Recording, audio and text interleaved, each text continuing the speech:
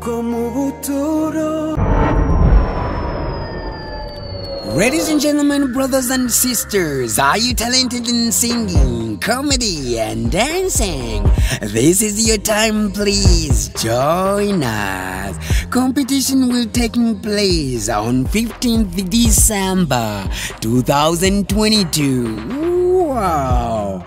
Uh, the winners will get $5,000. That's more money. Yes. A hoster will be Papa Supplies. Papa Supplies, a father of supplies. Wow! Notes, all will be gospel. Apostle TV, sponsor of a competition. Together, we will do. Mwongeye muri aho bakunzi ba aposo tv mumezamda murakomeye cyane. Eh, yesu ashimwe disi niyo ni- niyo nyikirizo ni ni- n'insuhuza si byo se yesu ashimwe. Ajya babisubiza gutya. yesu ahimbazwe.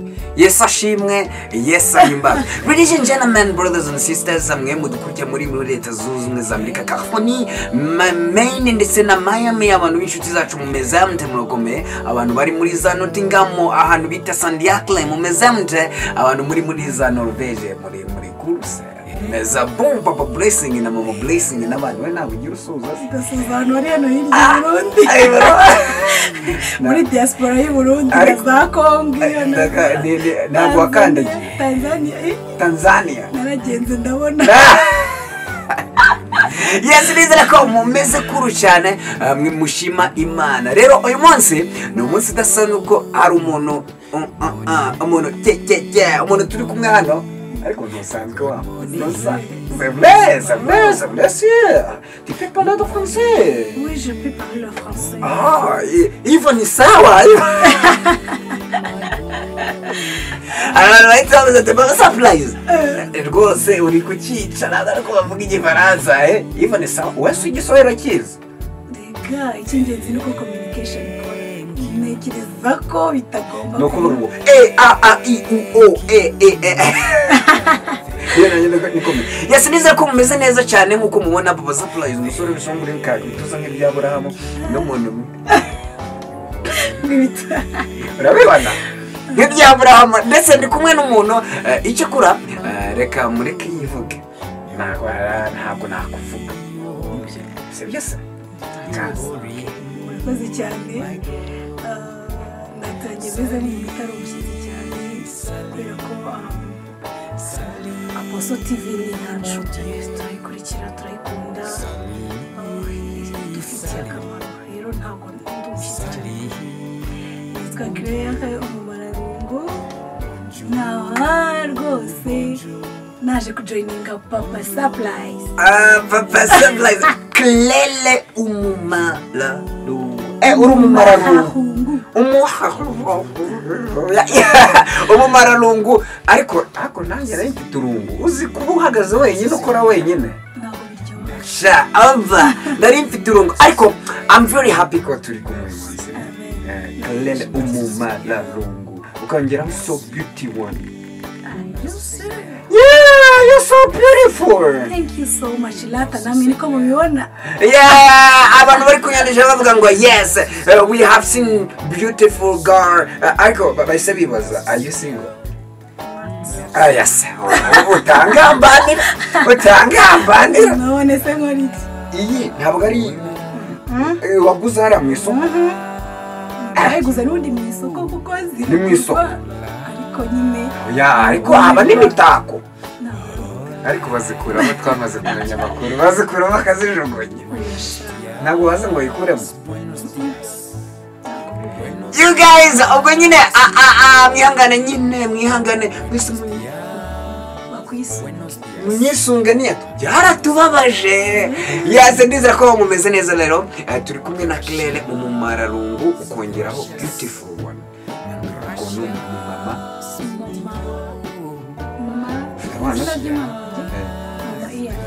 Mama Ian. mama ian.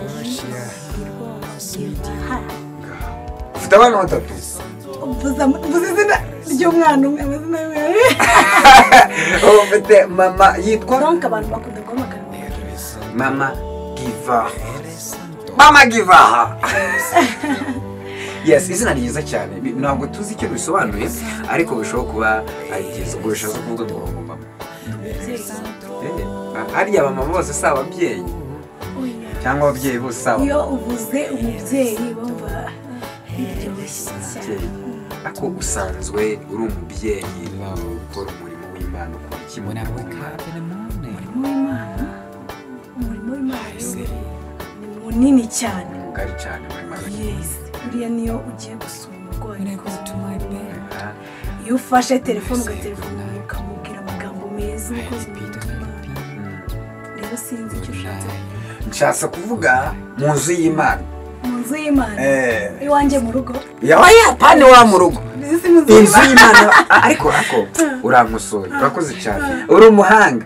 Kubera ko maze kubona ko inzu y'imana si iriya tujya guteraniramo. Gusa ni iwawe ni inzu y'imana. Kwanza iya iyi inzu y'imana ya mbere ni wowe. Ahangaha bibiliya niko ivuga. Ahubwo hariya ni ahahuza abantu burya aho duhurira aho duhurira abantu kugira ngo dukomezanye mu nzira eh, mu nzira ya kirisito so noneho reka mvuge aho duhurira. Ukora duhurira. Uraririmba ndabona ariko eh barawe reka muvugeho gatoya ndi kubona ewana yajyanisha ukuntu yambaye. Ariko iyo misatsi simiterere yandi baba barashinzeho. Oya ntabwo ari imishingano ntabwo ari imishinga. Ntabwo ari yayindi bahita ngo artificial hair. Yayindi bafata cyangwa ni plante sha. Ukaza udukanga udukanga ngo nuko wabaye mwiza cyane. Ntabwo ari plante tuhise tugera n'amashyi ubusa batagira imisatsi. Kangiye gutezaho umusatsi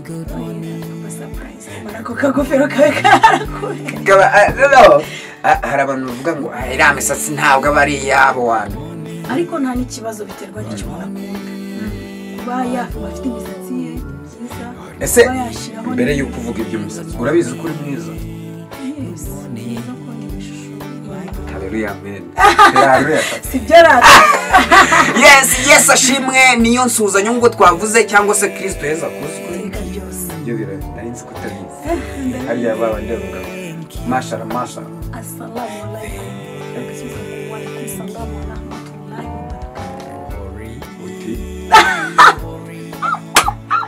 Wa. Salama wa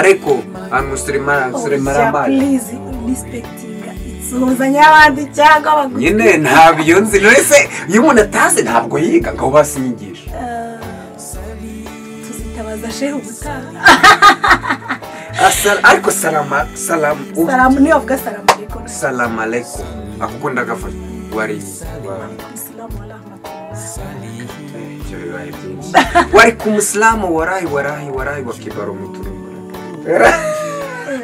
ntacyo uzamenya yes nzabimenya kwiga guhoza so noneho eh, wari n'umwe twari twirire ahantu tugeze mu nzu y'imana utubwira ibintu ukora twari dushatse kumenya icyo ukora mu nzu y'imana. Kuko reka nkubwize ukuri urasa nk'umuntu ufite umurimo mwiza mu nzu y'imana. Kandi ubye- ubyemere ngiye ndashaka kubimenya. Nakubwiye ko ndirimba uririmba Eh, ariko ntubwire kuririmba tu ye ye ye ye ye ye ndi umuraperi yo yo yo yo. Yo yo. Akaririmbo ujya uririmba keza.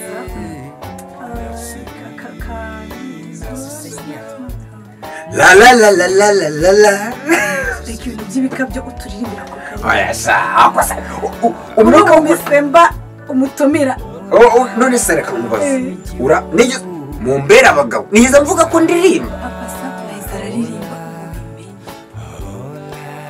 naho umumararungu mumeneye amabanga naho umumararungu mumennye umuceri none reka nkwereke eh. naka kamera nanjye ndaririmba ah, uyu munsi naje ntare pesa ah! ukaba ubakubitiye mu kabati. Next time. You will sing for us.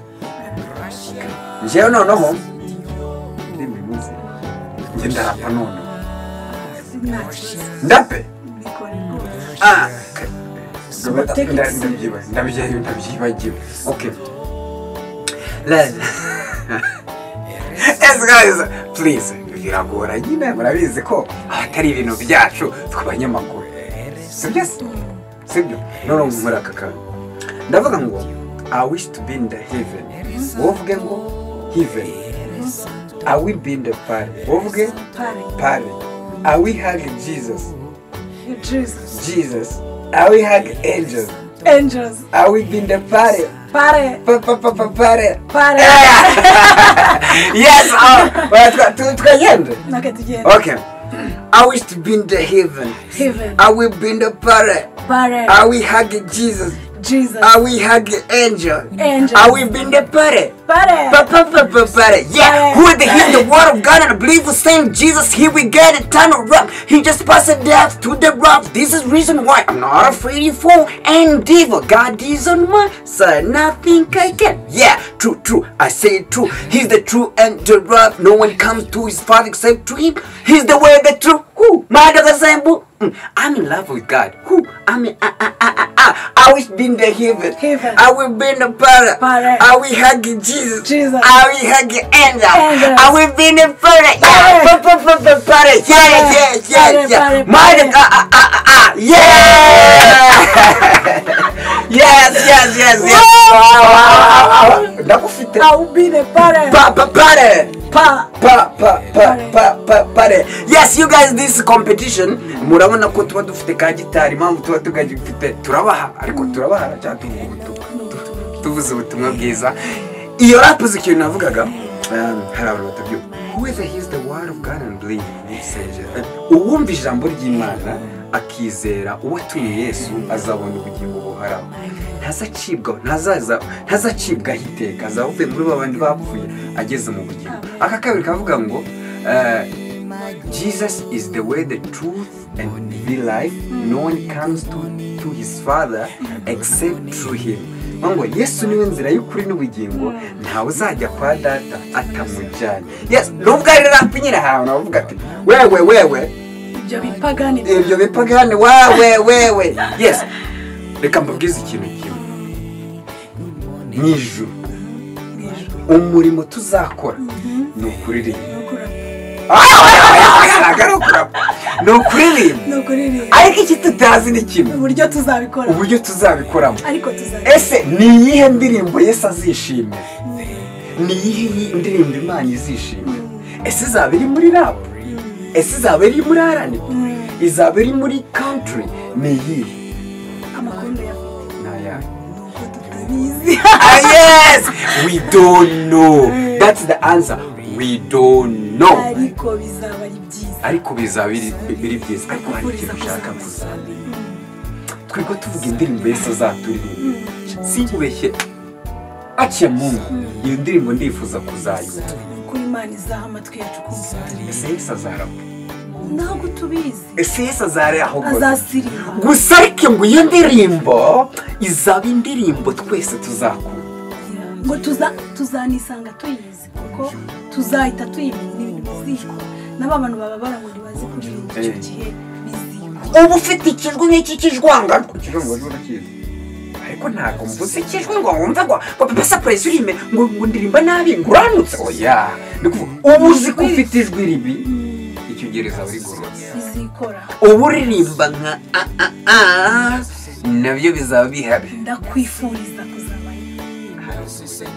yo haleluya ariko reka mubaze ubundi wumva ikijuru ni gute wumva ijuru muri rusange ijuru ijuru ntabwo rikwirwa mu bitekerezo biragoye ko wavuga ngo ijuru rifite mu bitekerezo ariko ijuru uko biri muri twe tukiri mu isi donc bitangira kurifata tukiri mu isi ni na yo mpamvu ijambo rye baravuga ngo yaratwimuye atwicazanya n'imana mu buryo haleluya bivuga ngo ntabwo ntabwo tugenda turi mu isi ariko tuba turi kumwe n'imana mu buryo ijuru rero ntabwo ari nk'ahariya mu kirere ngo dutunga y'amaso cyangwa hano hasi. Ijuru riri muri twe ntabwo tuzaho imana izatwerekeza icyo gihe ngo tuvuge ngo ngo tuzazamuka ngo cyangwa tuzamuka kumanuka. Ariko njye nifuza ko twazamuka. Uko byamera kose twumva ko hejuru ari heza hasa neza ntabwo yicaye teoloji ifite iyo natanga inyigisho mureke twebwe dukora ibyo dusabwa aho yesu azatunyuza ni hasi. Wow. Eh, ariko wavuze ko uri umuririmbyi. Uvuga no ariko byose bivuga butumwa. Reka kambi uri umwigisha ujya ujya kuki? Ujya ubwiriza ujya ugira umwanya wo kubwiriza. Mm, ntabwo ndi Wo- w'ijambo ry'Imana. Ijambo ry'Imana kubwiriza usomye ukurikije ibyanditswe. Nibyo? Ari icyo mpabwa ni ukuririmba. Kuririmba kubwiriza byaza nyine tu- turi bake tukaganira. Ariko ntabwo ntabwo ni ukuri tw'imana yandemiye uvuze amagambo meza kandi akumvira yes ngira ngo mwamwumvishe ntabwo ari ubunyamakuru gusa ahubwo hari n'ibindi azi cyane. Eh, mbibutsa insanganyamatsiko y'uyu munsi eh, tuje muri kompetisiyo kuvuga ibijyanye na kompetisiyo murabona ko eh, mfite gitari kabisa. Reka hari umuntu umbwiye ngo urayifata ariko ntuyizi.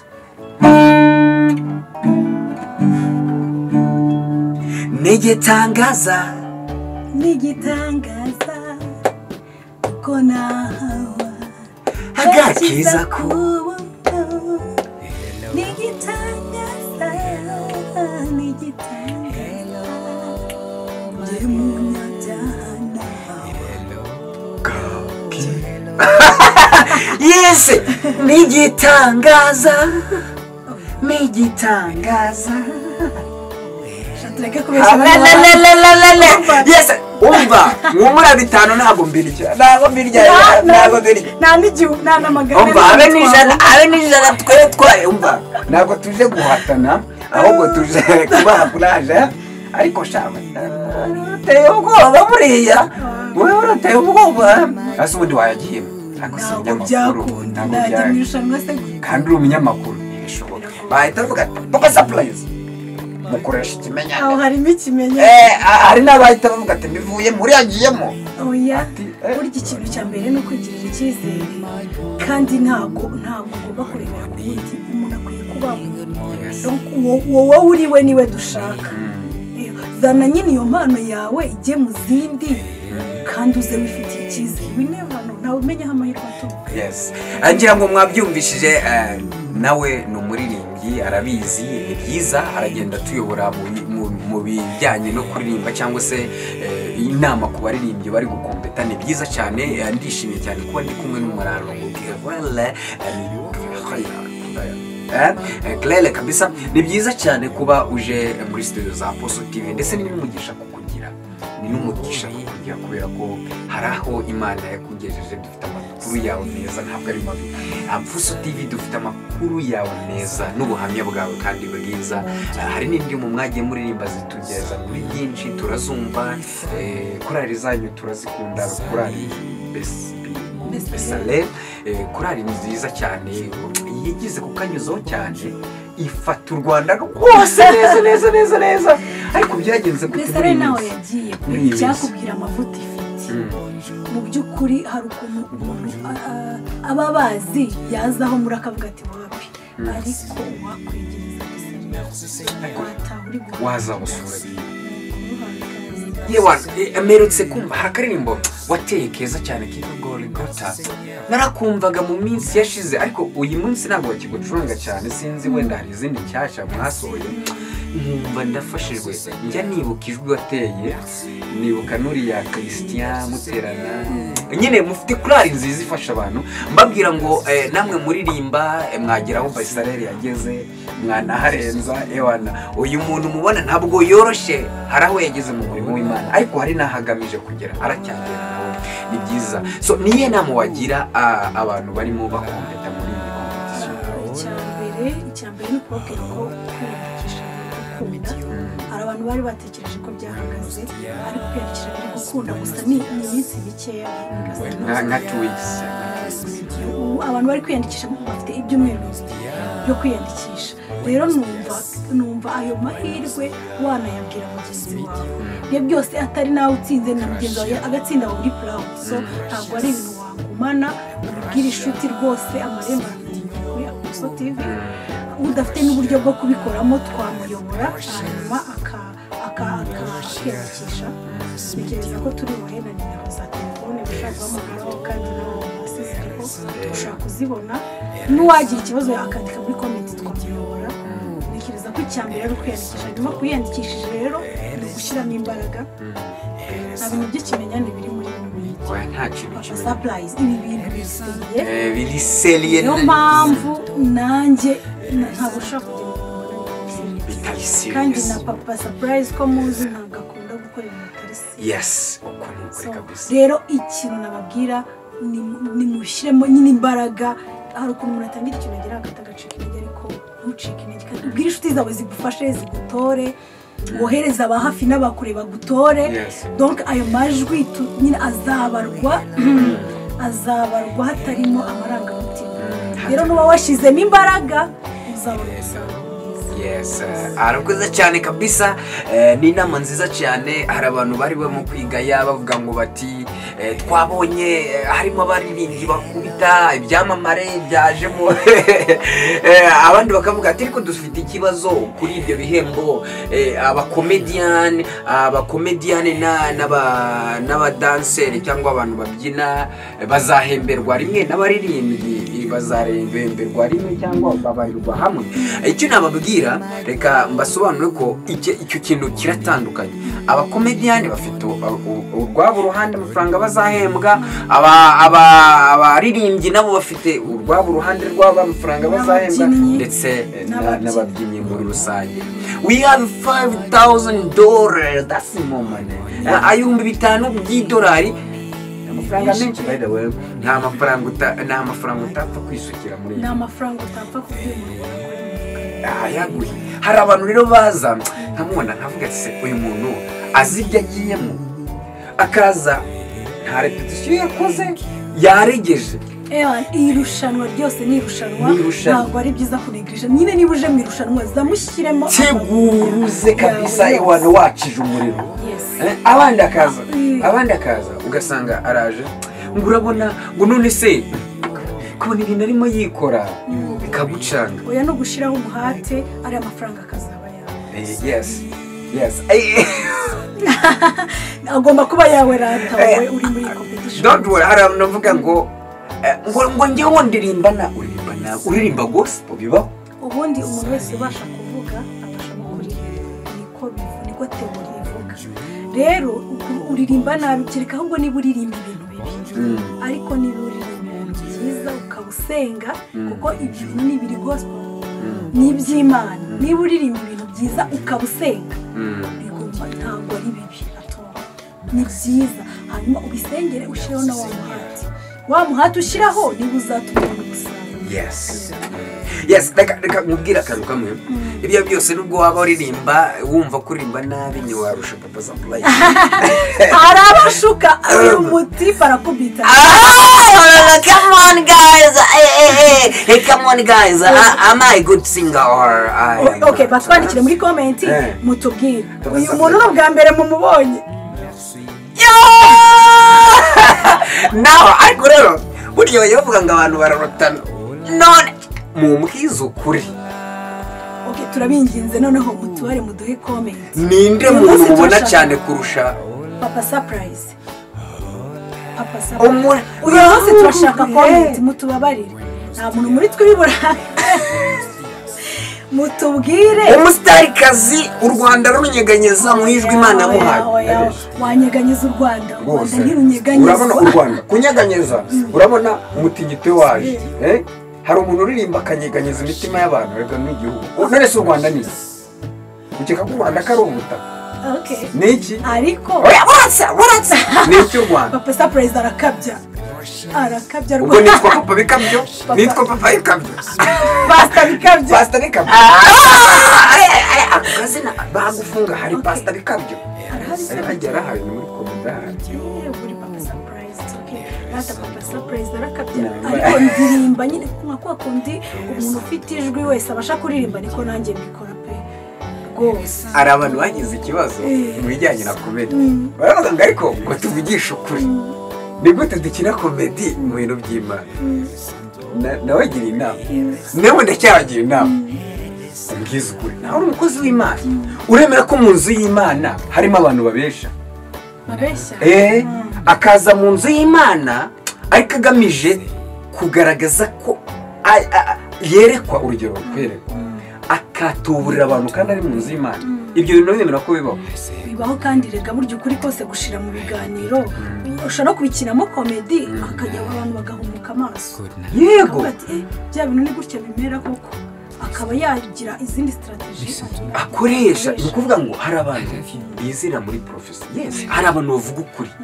Ariko hari n'ababeshyi ikibazo uri kubakopiza.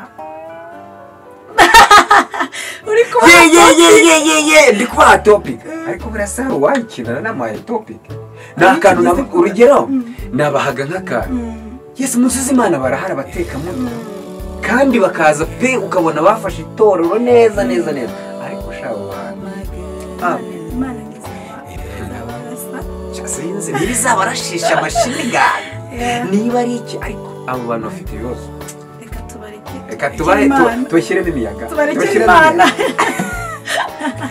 yes imana niyo ihana niyo ishyiraho igihano si twebwe twe ni desires zacu ni ibyifuzo nta byacu nubwo kubajajinga ntabwo ntabwo. nta- oya, nta nubwo ari ibintu. Wumva turakarabye turakarabye yes yes kompetisiyo eh, abantu barabaza ngo kompetisiyo se izatwara igihe kingana iki? Barabaza igihe kingana iki? Ko icyiciro cya mbere kizarangira ryari? Icyiciro cya kabiri kizarangira ryari? Icya gatatu cya finale kizarangira ryari? Niba itangazamakuru turimo birimo bidufasha ni ibihe? Eh, aho wenda ndabasobanura ariko icyo nababwira kompetisiyo ifite one, one week and two, no, no, one month and two weeks. Sibyo? Ku itariki mirongo itatu ni ho ibintu byose biteganywa ko bigomba kuba byarangiye kuri mirongo itatu z'ukwa mbere Eh, kompetisiyo ubu ngubu buri sesheni izajya itwara two weeks. Niko turi kubikora Eh, ahasigaye ibindi bazagenda babimenya mu biganiro tuzajya tugenda dukora bya komedi icyo musabwa ni ugukurikirana aposo tivi mukaduke mukayiha umwanya mukareba kugira ngo hatazagira ikintu na kimwe kibacika. Mukajya mubona apudeti mukajya mubona updates za buri munsi buri munsi ko tugenda dushyira ibyo Eh. ukabireba ugashinga ukafasha n'inshuti zawe kumenya kuko ntabwo ari byiza kumenya amakuru meza nk'aya ngo uyagire. Yagire ba. Hari abantu bajya bikunda wanga akavuga ati ngiye numiye kirere. Ayo mafaranga yahita ajyajyana Oh, yeah, ukagira ngo ese shabu? Ukagira ngo niba utumiye kirere amafaranga arayajyana kirere akize. Ugira ngo wowe niba uri inshuti ye ntiwamugiraho umugisha. Uzi ko ushobora no kwanga kumubwira wenda bikarangira n'iryo rushanwa utaribonye ariko ntirinatwarwe n'inshuti yawe. Ariko iyo umubwiye haba hari amahirwe abiri y'uko waribona cyangwa wakaribona. Cyangwa mwese mukanaribona cyangwa mwese mukayatsinda. Biremewe ikigendere no kugira ngo mubwirize inshuti donc abantu baze bakompete hanyuma babone umugisha w'imana. Amafaranga na yo hari igihe aba rwose ari umugisha. Ariko kandi nta nubwo tu- tuvuga ko eh, kompetisiyo ishingiye ku mafaranga gusa hari n'izindi opotunite iyi aposo tv ni televiziyo ya gikristo eh, sponsors. It's really easy to get the sponsors there. Biroroshye kandi mubwira ngo aposo tv iri muri leta zunze amerika ni ho ifite icyicaro. Eh, ngira ngo oh, umu- umukozi w'imana pasita nyandwi na madamu we n'umufasha we babigiramo uruhare rukomeye cyane ni abavugizi beza cyane. Reka tubone no gushimira pasita nyandwi na madame Eh. ku- ku- donc guha imbaraga iya posoti Eh. ndetse no gushyira imbaraga muri aya marushanwa. Mu by'ukuri hamwe nabo tuzagira yesi hari umuntu wigeze umbwira ngo ariko se ni pasiteri mu rusengero?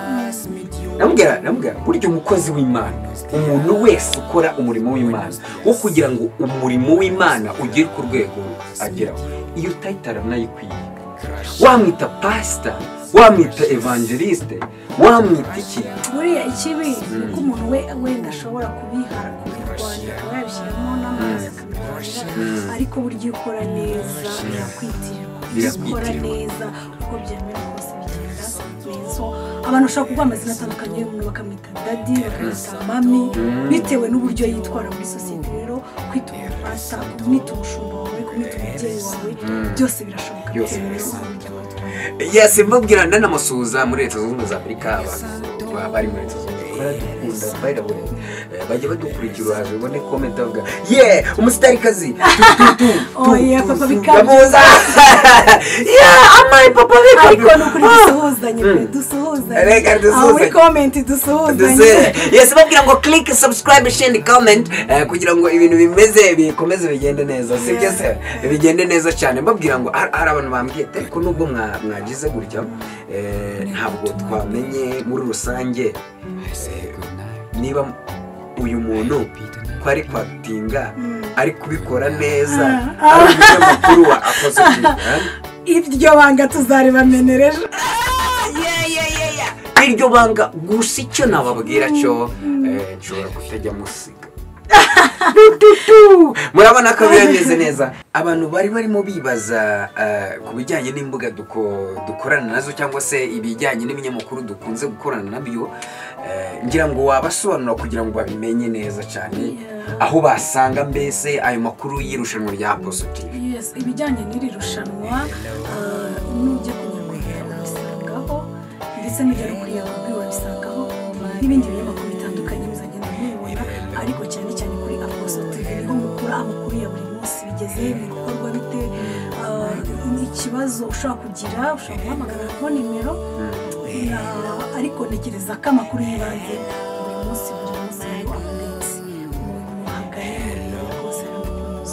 yuzuye yes ngira ngo ni ibyo kabisa ibyo binyamakuru turimo dukorana amarushanwa aracyakomeje ibintu biracyari faya faya eh, ibintu ni umwoto mwoto moto, sana, birashushe moto. rwose, birashushe pe. cyane kabisa ndi kureba uburyo bigenda uyu munsi umwe akarusha undi undi akaza akamurusha Eh, harimo Eh, imbaraga hari abantu aba bantu vrema bafite umwete kandi turababwira ngo mukomeze irushanwa risoza ku munsi donc ku munsi wo gusoza nyine.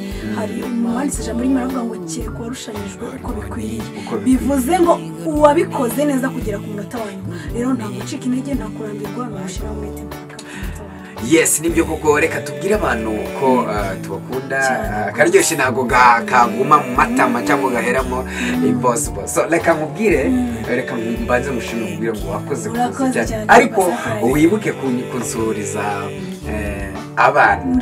Aho mazina yabo. Ukaraba ndabasuhuza rwose abana batatu. Ari abana ndabasuhuza kandi nabo bose mu byumve geva gaga gera rwose ndabasuhuza Yeah. yes ndabakunda cyane n'abana beza cyane. Wabonye umuryango w'umugisha na shefu wawe ni umunyamugisha shefu wawe nawe ni umwana mwiza se. Ntabwo bavuga ko ari umwana mwiza bavuga ko ari umuntu mwiza.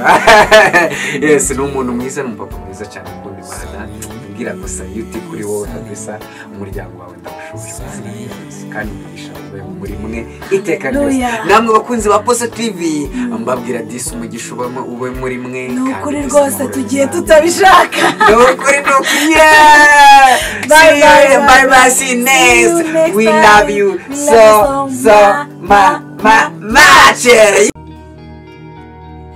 como buturo Ladies and gentlemen, brothers and sisters, are you talented in singing, comedy, and dancing? This is your time, please join us. Competition will take place on 15th December 2022. Wow! Uh, the winners will get $5,000. That's more money. Yes. A hoster will be Papa Supplies. Papa Supplies, a father of supplies. Wow. Not all will be gospel. Apostle TV, sponsor of a competition. Together, we will do